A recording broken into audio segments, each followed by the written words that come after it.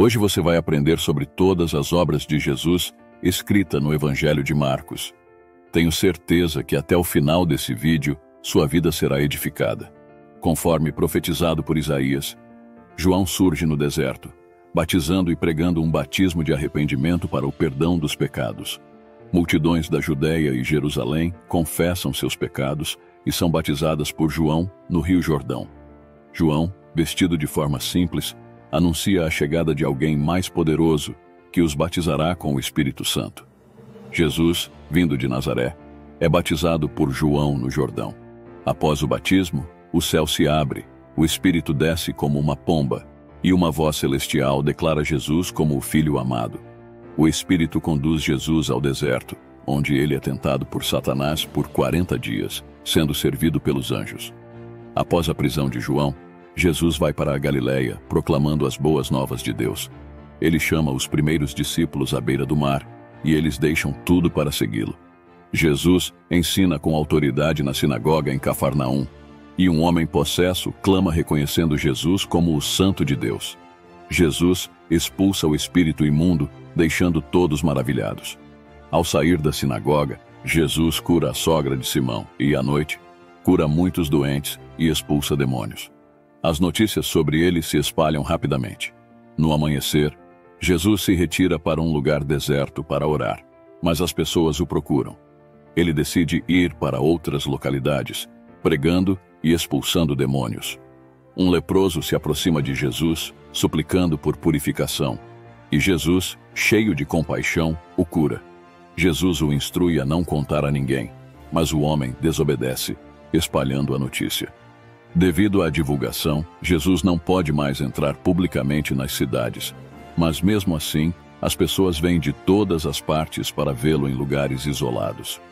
Poucos dias depois, Jesus retornou a Cafarnaum, onde a notícia de sua presença rapidamente se espalhou.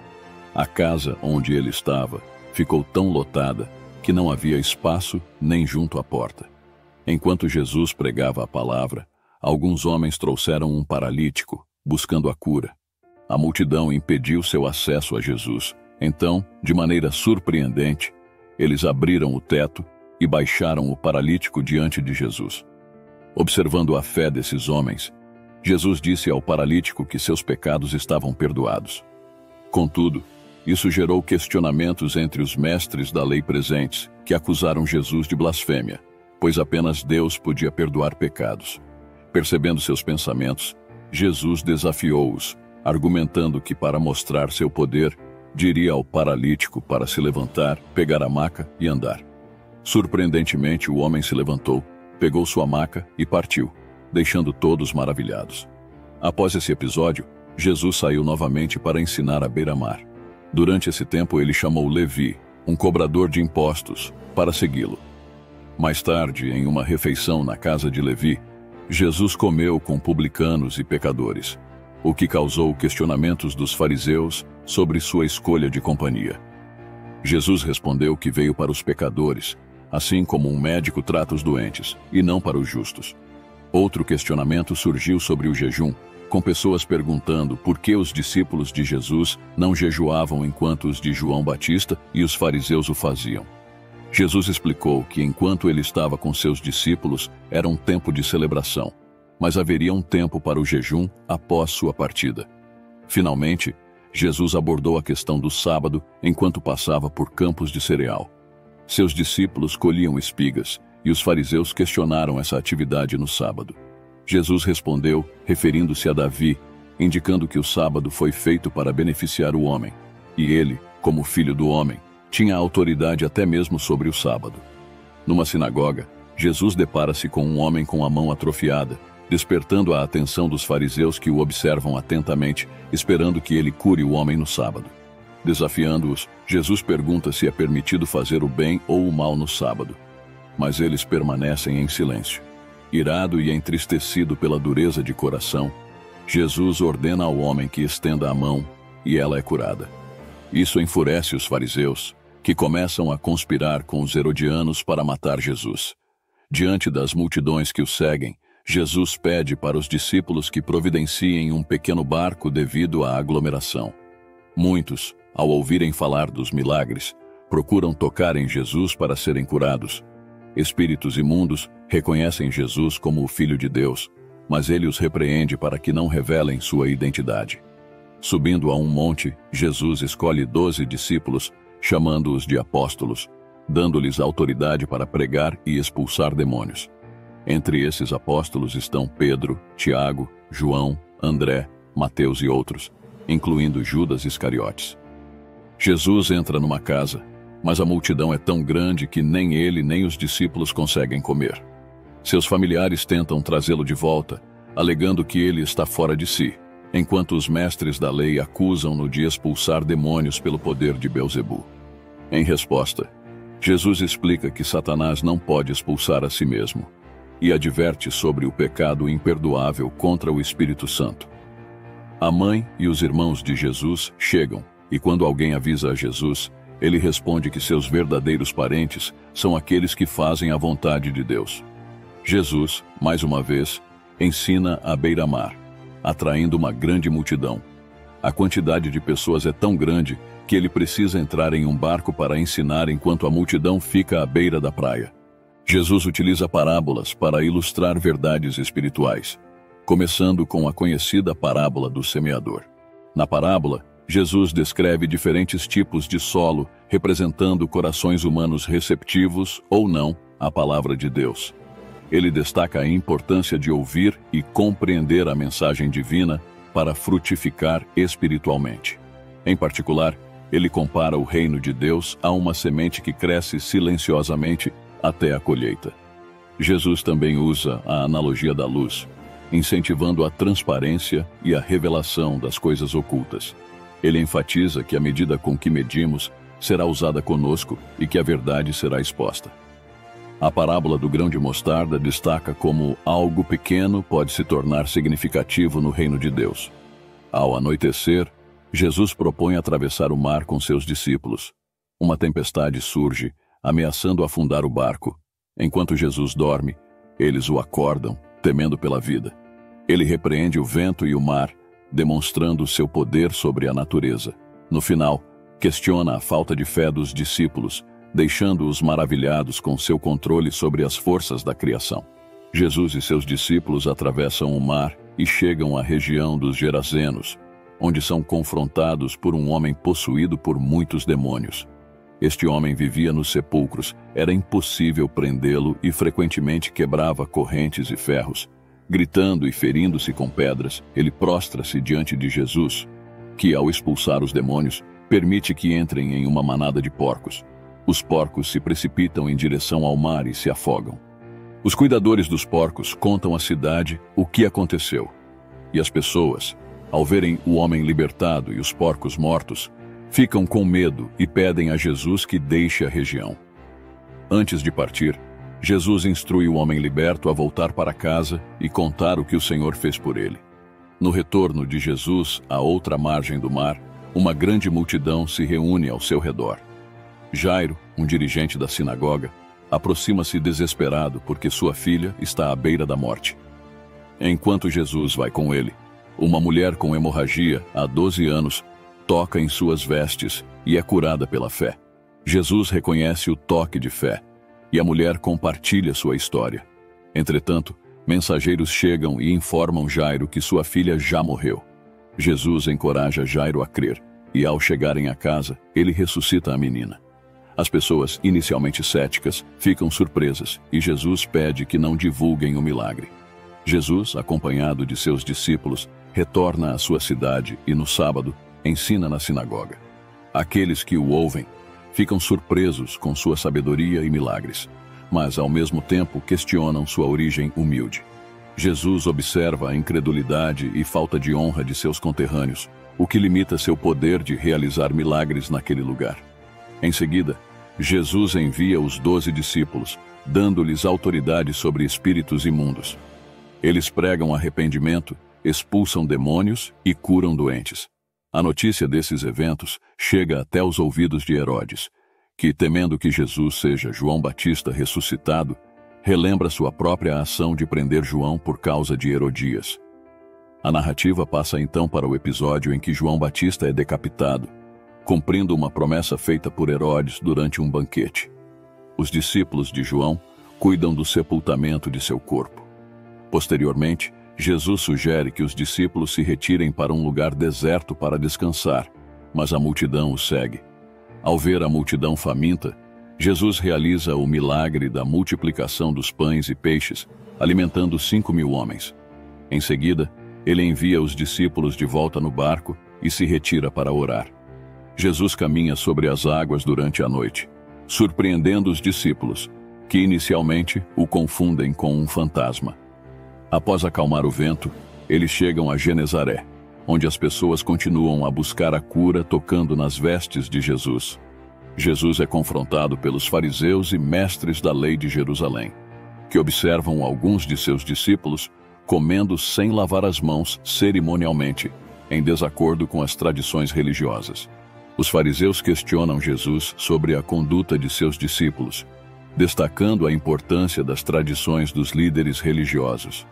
Em resposta, Jesus critica os fariseus, citando o profeta Isaías, acusando-os de honrar a Deus apenas com os lábios, enquanto seus corações estão distantes. Ele destaca como eles anulam os mandamentos divinos em favor de suas tradições.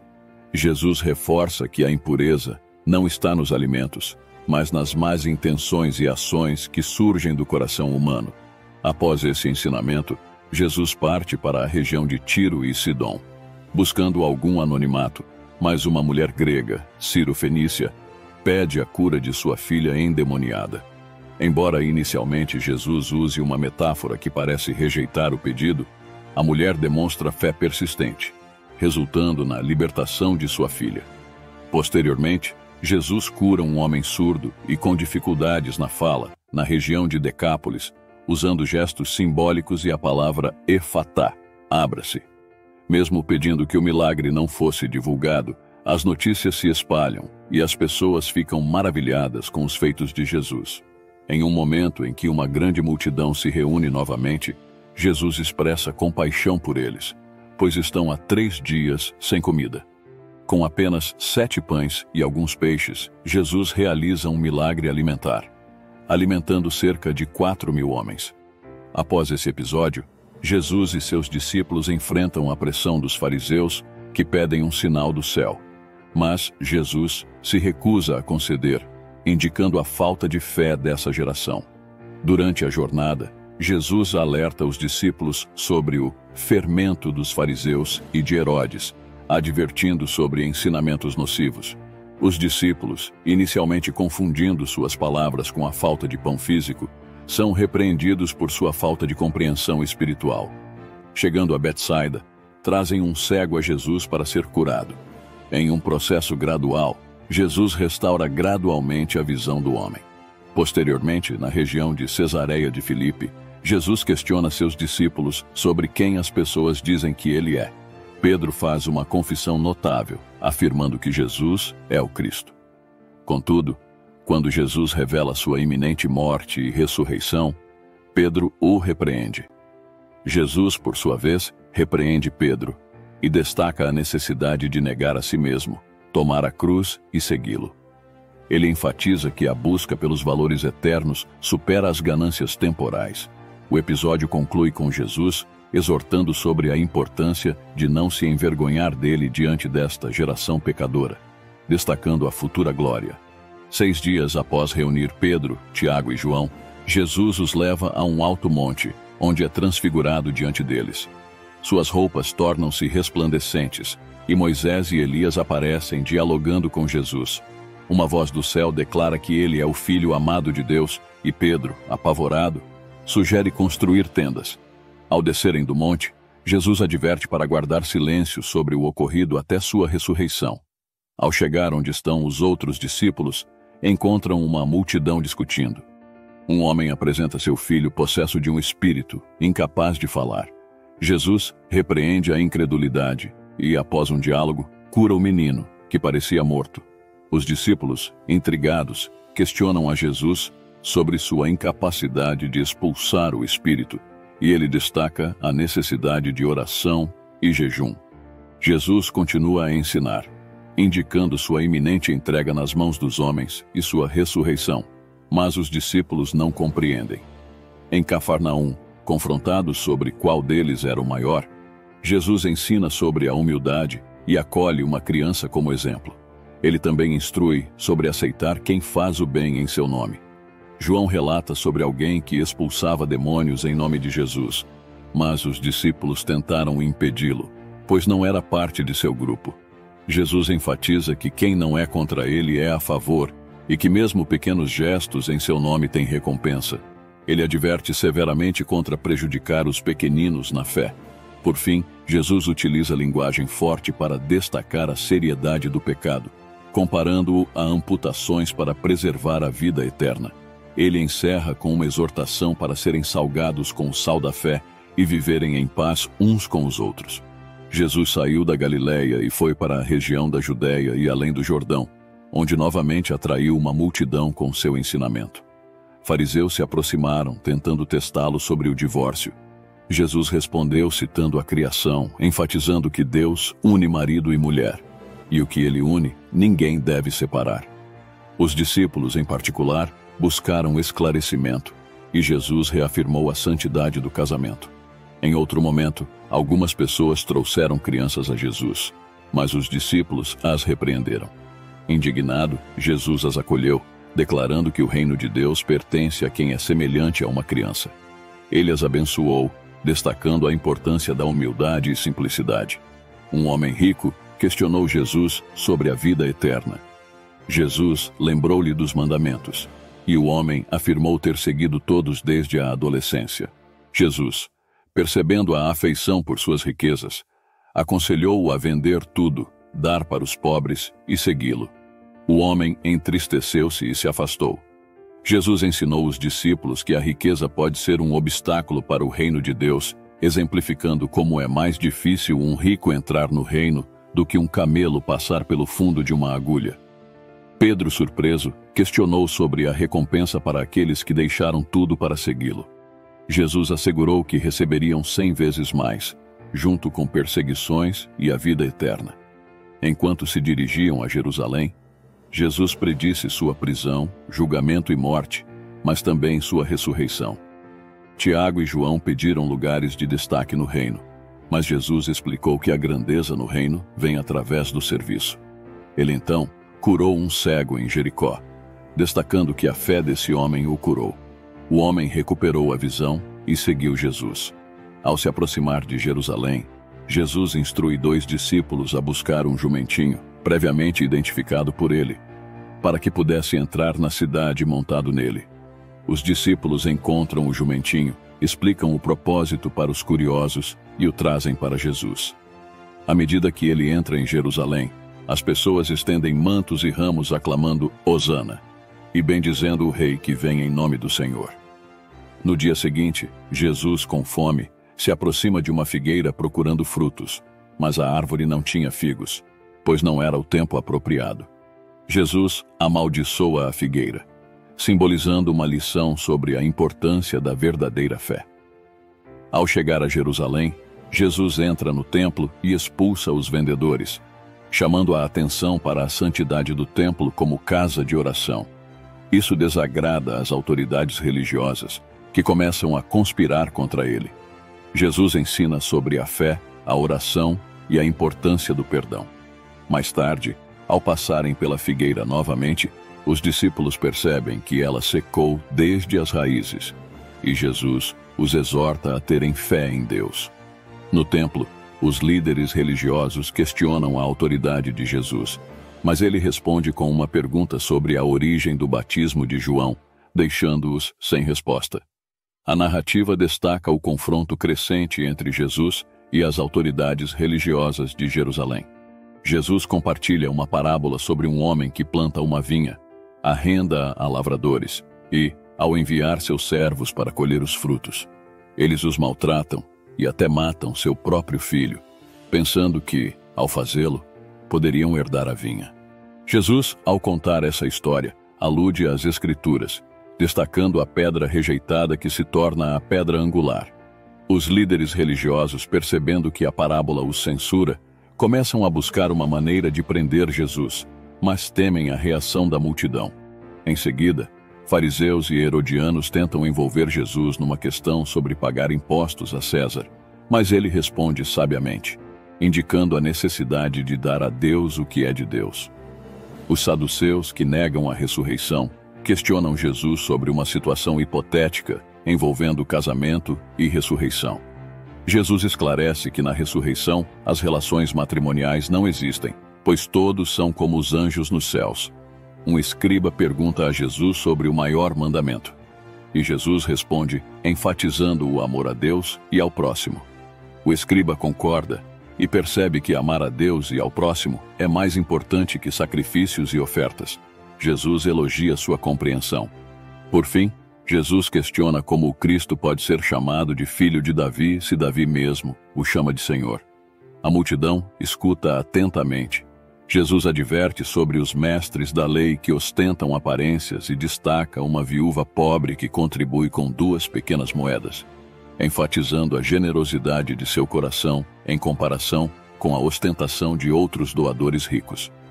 Enquanto Jesus se retira do templo, um discípulo elogia a grandiosidade das construções, mas Jesus prevê a destruição do templo. Mais tarde, no Monte das Oliveiras, alguns discípulos questionam Jesus sobre quando esses eventos ocorrerão e qual será o sinal de sua aproximação. Jesus adverte sobre falsos messias, guerras, terremotos e perseguições.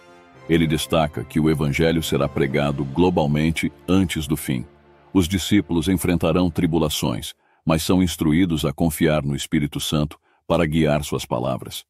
Jesus profetiza desastres e aconselha a fuga quando o sacrilégio terrível aparecer. Os dias de tribulação serão tão intensos que até mesmo a criação será abalada, mas Deus abreviará esses dias por causa dos eleitos. Alerta sobre falsos messias e profetas que tentarão enganar, mas Jesus enfatiza que já os preveniu. Após a tribulação, ocorrerão eventos celestiais e a vinda gloriosa do Filho do Homem, acompanhada pela reunião dos eleitos. Jesus compara os sinais dos tempos à renovação da figueira e destaca a imutabilidade de suas palavras. Finalmente, ele enfatiza que a data exata é desconhecida, aconselhando vigilância e alerta, pois sua vinda será inesperada, como a volta de um dono de casa que pede vigilância a seus servos. A mensagem é clara: estejam prontos e vigiem. A Páscoa se aproxima e os líderes religiosos buscam uma maneira de capturar Jesus sem causar tumulto durante a festa. Enquanto Jesus está em Betânia, uma mulher unge sua cabeça com um perfume valioso, causando indignação entre alguns presentes. Jesus defende a ação, elogiando a generosidade da mulher. Judas, no entanto, se aproxima dos líderes religiosos para atrair Jesus, concordando com uma recompensa. Durante a festa dos pães sem fermento, os discípulos perguntam onde preparar a Páscoa, e Jesus instrui dois deles a seguir um homem com um pote de água, que os levará a um local adequado. Na ceia, Jesus revela que um dos discípulos o trairá. Depois de compartilhar pão e vinho, simbolizando seu corpo e sangue, Jesus prediz a negação de Pedro. No Getsemane, ele pede a Pedro, Tiago e João que vigiem enquanto ele ora. Jesus expressa sua angústia ao Pai e encontra os discípulos dormindo. Após repetir isso duas vezes, é traído por Judas e preso. Jesus é levado ao sumo sacerdote, onde testemunhas falsas não conseguem fornecer acusações consistentes. Quando questionado se é o Messias, Jesus responde afirmativamente, resultando em condenação. Pedro nega conhecê-lo três vezes, cumprindo a predição de Jesus. O galo canta, e Pedro, lembrando-se das palavras de Jesus, chora. Ao amanhecer, os líderes religiosos levam Jesus até Pilatos, acusando-o de muitos crimes. Pilatos, ao questionar Jesus sobre ser o rei dos judeus, obtém uma resposta enigmática. Durante a festa é costume soltar um prisioneiro, e Pilatos, sabendo da inveja dos líderes religiosos, propõe soltar Jesus ou Barrabás à escolha do povo. Os líderes incitam a multidão a pedir a libertação de Barrabás e a crucificação de Jesus. Pilatos, desejando agradar a multidão, solta Barrabás, manda açoitar Jesus e o entrega para ser crucificado. Os soldados zombam de Jesus, vestem-no com um manto de púrpura, coroam-no com espinhos e o maltratam. Um homem chamado Simão é forçado a carregar a cruz de Jesus até o local da crucificação, chamado Gólgota. Jesus é crucificado entre dois ladrões e as pessoas zombam dele. Às três horas da tarde, ocorrem trevas sobre a terra e Jesus, em agonia, clama a Deus. Ele morre, o véu do santuário rasga-se e um centurião reconhece que Jesus era o Filho de Deus. José de Arimateia, membro do Sinédrio, obtém permissão para sepultar Jesus. Ele envolve o corpo em um lençol e o coloca em um sepulcro, rolando uma pedra sobre a entrada. Maria Madalena, Salomé e Maria observam o sepultamento. O texto termina mencionando que era o dia da preparação, véspera do sábado. Após o sábado, Maria Madalena, Salomé e Maria, mãe de Tiago, compram especiarias para ungir o corpo de Jesus. Ao amanhecer do primeiro dia da semana, dirigem-se ao sepulcro preocupadas com a pedra que o bloqueia. Surpreendentemente, encontram a pedra removida e um jovem vestido de branco dentro, que anuncia a ressurreição de Jesus. Ele as instrui a informar os discípulos sobre a ressurreição e que Jesus os encontrará na Galileia. As mulheres, tremendo e amedrontadas, fogem do sepulcro sem contar a ninguém. Jesus ressuscitado aparece primeiro a Maria Madalena, que comunica a notícia para os discípulos, mas eles não acreditam. Posteriormente, Jesus aparece a dois discípulos a caminho do campo, mas novamente a incredulidade prevalece entre os demais. Numa ocasião posterior, enquanto os discípulos comem, Jesus os repreende pela falta de fé. Ele os comissiona a pregar o Evangelho a todas as pessoas, prometendo sinais para os que crerem, como expulsar demônios, falar novas línguas, pegarem serpentes e curar doentes. Depois de dar essas instruções, Jesus é elevado até os céus e assenta-se à direita de Deus.